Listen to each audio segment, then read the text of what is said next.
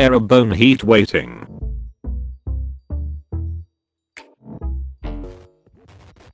If you face this error follow some steps.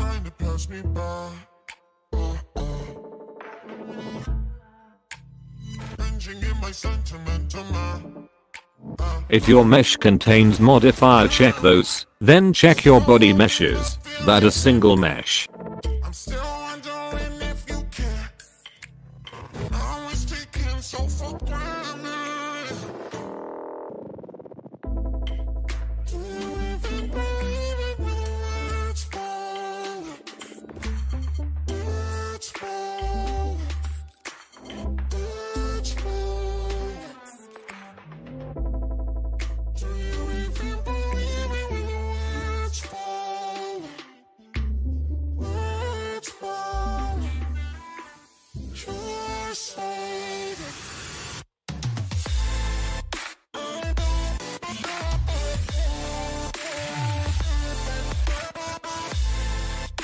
Remove all vertex groups.